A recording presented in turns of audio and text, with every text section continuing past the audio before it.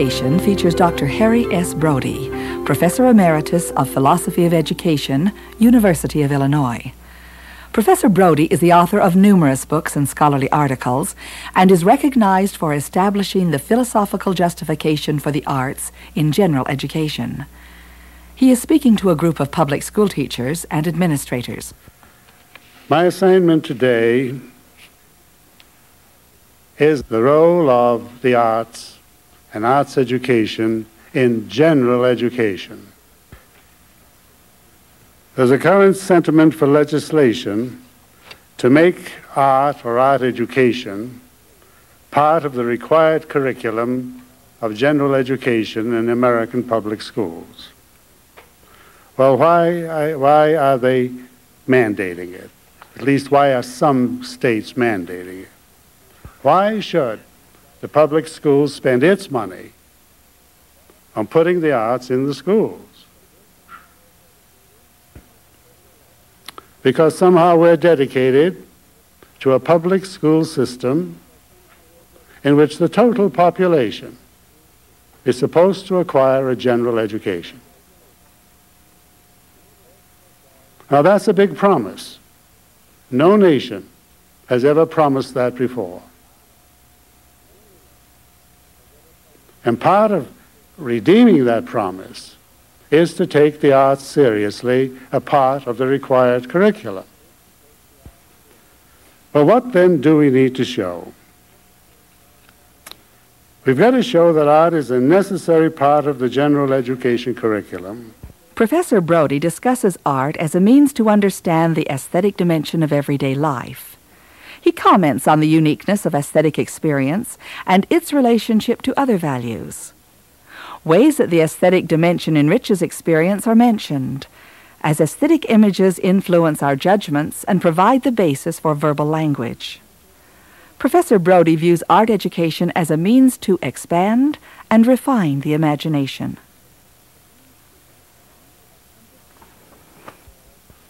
First of all, we have to show the school board, the well intentioned citizenry, yes, the people who pay the bill. We have to show them first that art is, an, is a part of the aesthetic experience, and the, the aesthetic experience is absolutely unique. It's so unique, it's so special that it can't be incorporated in any other subject in the curriculum. If it can be, why don't you do it and don't bother with another curriculum? So the case has to be made. This is a unique form of experience. Well, what's unique about it? Well, briefly, I'm going to ask you what do you do when you have a pain, a severe pain in the neck or somewhere else?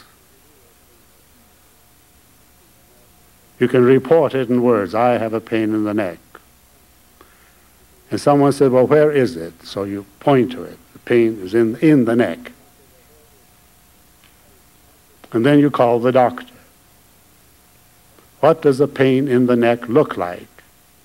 Well, he uses instruments, x rays, and he gets a very peculiar image of what a pain looks like.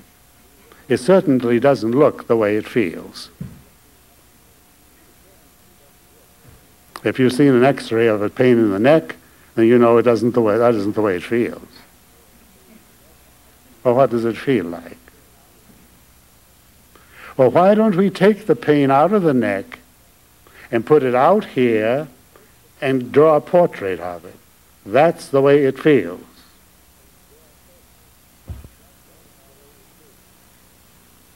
That's exactly what art does.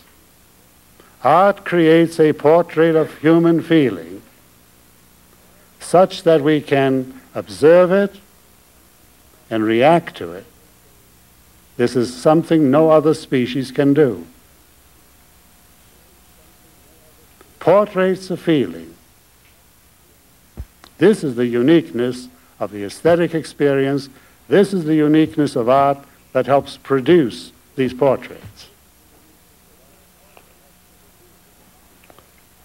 And whether the portrait is perceived as a mountain or a sunset or a painting about a, a sunset or a mountain doesn't make any difference. They're both aesthetic experiences. They're not practical experiences. They're not scientific experiences. They're highly individual, unique portraits of feeling.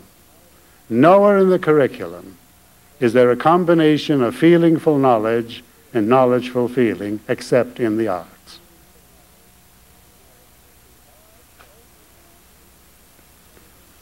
All right, suppose we grant that it is unique. If it's that unique, maybe we shouldn't bother with it. How is it related to everything else?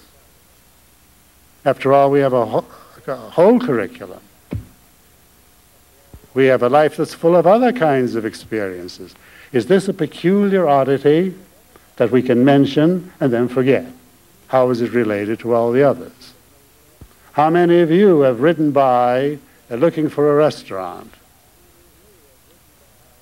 And you've looked at the sign and said, now that's going to be an expensive place to eat.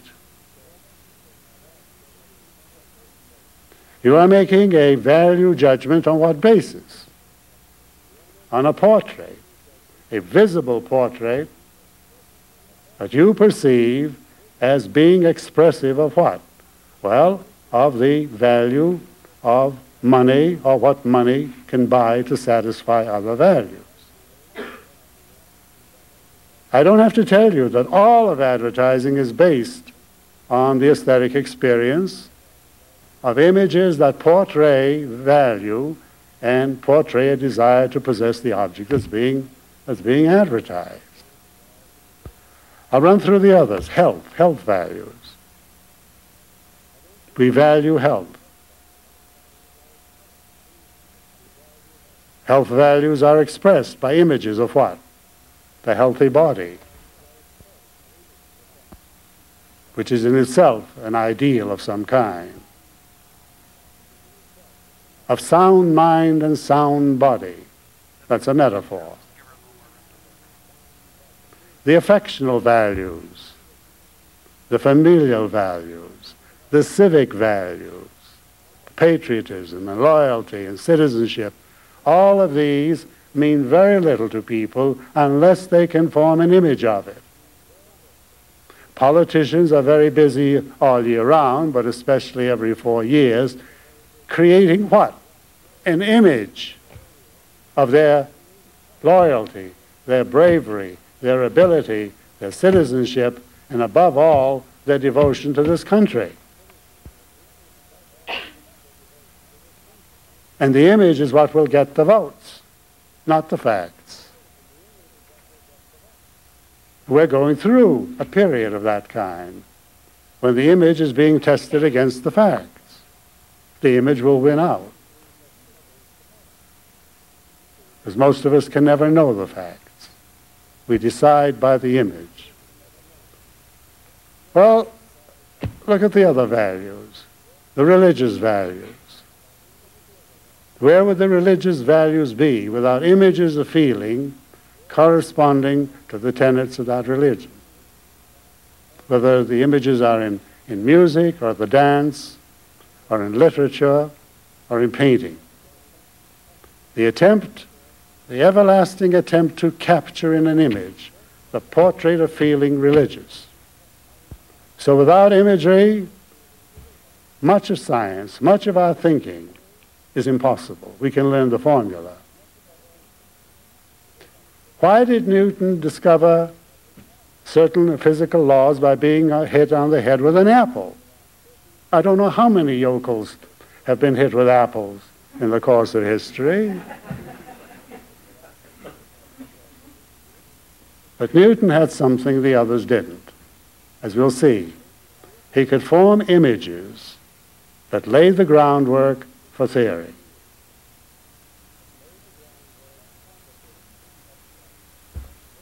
And so we come to the aesthetic values. They permeate every other area. And I shall try to give you some more examples as I go along. Without, without a cultivated ability to construe portraits of feeling our experience becomes highly diminished. And as, we shall see, the extension of the range of feeling, the refinements of the small differences of feeling, is what general education is committed to produce by the means of arts education. Anger has a thousand dimensions. How many of those dimensions do we perceive? How many of those variations are part of our own feeling experience?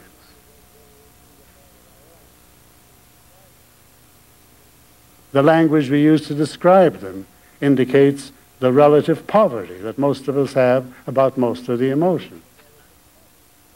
It's to art that we turn for the exfoliation, the refinement, the extension of feeling about uh, portraits of feeling. And some of those portraits actually engender feelings that we've never had before. Now, I hope I've given some indication as to why we can make the case that not only is the aesthetic experience unique, irreplaceable, but it's related to every other, every other value domain in our experience. This is not a luxury for well-to-do people in times of leisure. Dr. Broudy explains how most of the judgments that we make in our daily lives are based on aesthetic images rather than on scientific facts. He argues that our perception of the aesthetic content of imagery is crucial and that this perception can be educated and refined. I'd like to give you a few illustrations from very ordinary experience, all very almost trivial ones, to make this point of the ubiquity of the aesthetic component of experience. I live in a university town too, and in my walks to and from the office, I pass a great many houses, some very big ones, incidentally, and one of them, oh, has a lawn that's just littered with rocks and weeds pieces of timber. What judgment do we make about the inhabitants of the house? Well, they're either civic slobs or they're a bunch of students who have sort of formed a commune or are living there for the year and they don't bother and they don't care. You come back a year later and you find the same rocks, the same pieces of lumber, the same weeds on the lawn. But now they're arranged in circles, in triangles, in patterns all over the lawn. Now who's living in the house?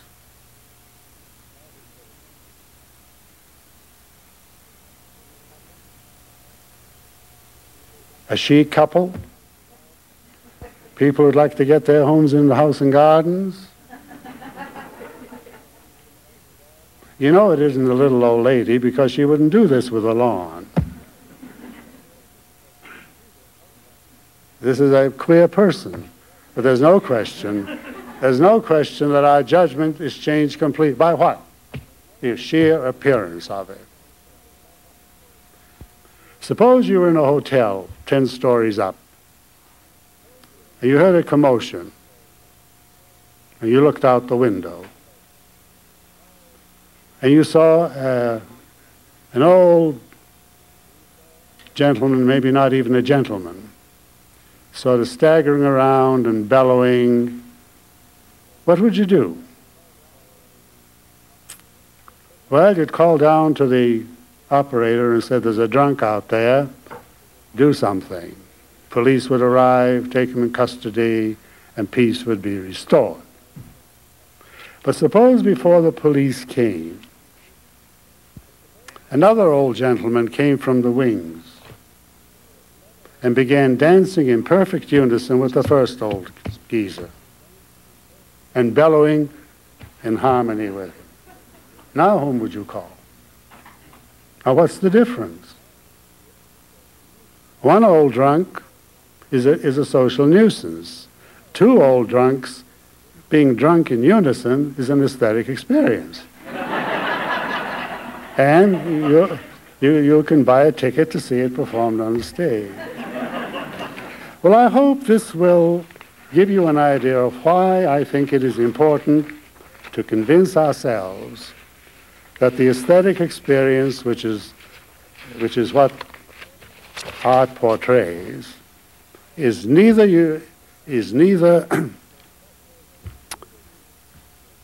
so special that only a few people can experience it, that it is not alien to common experiences, that it is at the basis of 98% of our judgments about anything.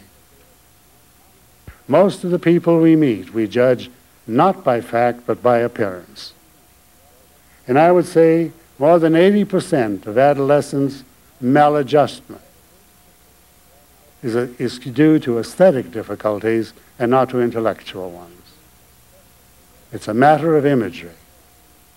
What they, are, what they think they are being perceived as, what they like to be perceived as, what the crowd is being wants them to be perceived as. It's the image that counts. The role of aesthetic imagery in the understanding of language is Dr. Broudy's next topic. He claims that a poverty of imagery results in a poverty of understanding, and that a lack of understanding of the arts results in an inability to participate in educated discourse. Language. Suppose you had a friend who was not an English speaker, but who had an English dictionary, that is, a, a dictionary of English and his own language, her own language. And you said we worked around the clock.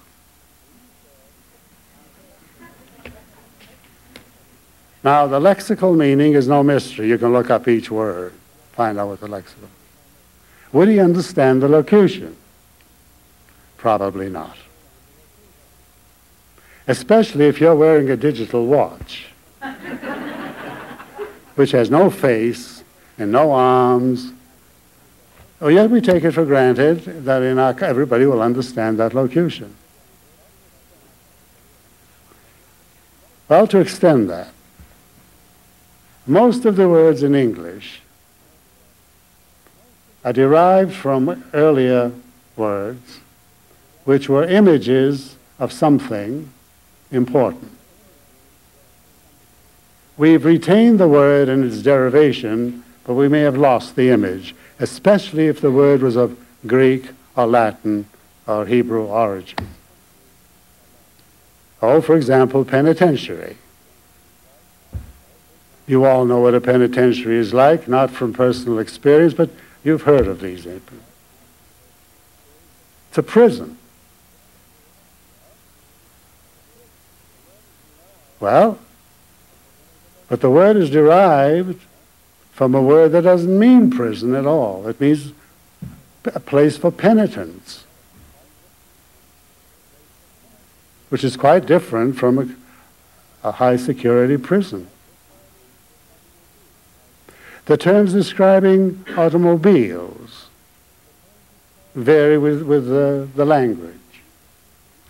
The British talk of windscreens, we talk of windshields. Is that the same? Not quite. A windscreen and a windshield are different portraits of feeling. Uh, as usual, the American locution is a little more rugged. Shield is a stronger image than a screen, which allows something to come through if it isn't too vile. Now you say, what difference does it make? A windshield is a windshield is a windshield. I know what it is. I know the referential meaning of the word. Don't bother me with these derivations. Fine. Only stop teaching English poetry. Certainly through the time of Eliot. Because the poet depends on the reader to bring to the written word the images that were derived from very old expressions. If you don't bring that to the word, you don't get the poem. You take all the literary quality, quality squeeze it out. All that's left is a dry textual meaning. And to expand and refine the imagination is probably the first goal that we promise in aesthetic education. And I'd like to dwell on the importance of that too, because it isn't obvious. Imagination is a word that trips lightly on the tongue. Everybody has an imagination. And it's not always a, a, a, plus word. You're imagining things is not really a compliment. But on the power of the imagination depends all of our creativity, whether it's in science or in the arts, in any field whatsoever. And what is the secret of this power of the imagination? It's a wonderful secret.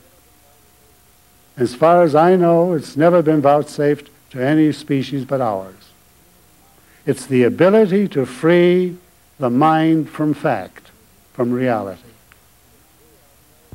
We have a power to free ourselves from reality, not from what is, but from what might be. Again, I'm using coarse examples because we haven't time to go into a long refinement of it. But think of what imagination has done to various types of human activity. We call them human.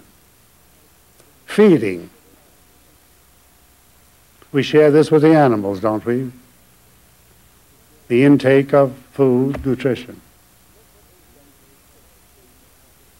Look what we've done with just the simple act of feeding, getting hold of something and ingesting it. We've made dining. We've created the whole field of dining out of a simple act of appropriating nutrition, which is just as nutrition if it comes out from under a rock as it is if it's prepared in the best chef in the, in the world. How have we done it? Not by adhering to reality. No, but contriving things that really have no relation to reality, or certainly no obvious one. All right, feeding becomes dining, shelter. Most animals take shelter wherever they can, under a rock, in a cave, under a tree, and if that's successful, they survive. It isn't successful, they disappear, and that's it. Look what our imagination has done with shelter.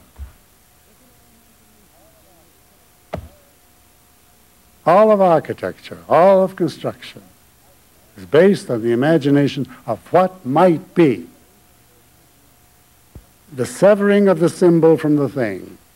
Once we sever the word from the thing, the, the symbol from its referent, we have an extraordinary freedom uh, which we call human freedom. It's the essence of all human freedom. All our ideals depend on our ability to imagine what we couldn't always verify in reality. I can't, I can't overestimate this for our, for our attempt to justify the arts as part of general education because they have so much to do with the cultivation of the imagination, of the source of all our real freedom. Hinges on that, on that. And you know it as teachers, where a youngster has no imagination or can't separate the symbol from the thing, he's bound by the immediate reality. There's very little hope for creativity or anything else. Now, I don't know of any more powerful argument for the necessity of the arts and of general education, but particularly what we can do with it in, uh, as a result of imagination. All our theories of ethics, all our theories of citizenships, all our theories about the good society come out of someone imagining what might be and then convert it into something that's possible and makes, then makes it the object of effort and so forth and so on, trying to realize it. Without that, we are really no more than the animals.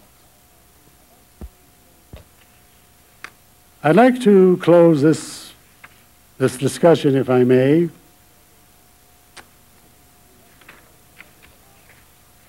with just a few other remarks about the role of role of art in the development and education. One is, I think, a not a trivial example, but I think a telling one. You're all familiar with the assassination of President Kennedy. And every year, despite all the commissions, there's a theory that says it couldn't have happened that way. Why aren't we satisfied with the explanation? It's because aesthetically it's no good. Great men cannot be assassinated by haphazard means, by lunatics, by crazies. The event has to match the importance of the occasion. The real story of that assassination will be told by a playwright who will write a play that will tell exactly what happened. It will be aesthetically right. It may be factually all wrong, but it'll be, that will be the thing we'll remember. The new woman, the new society, those will not take hold until they quit literally capture our imagination. And the only ones who can do that are the artists. Finally,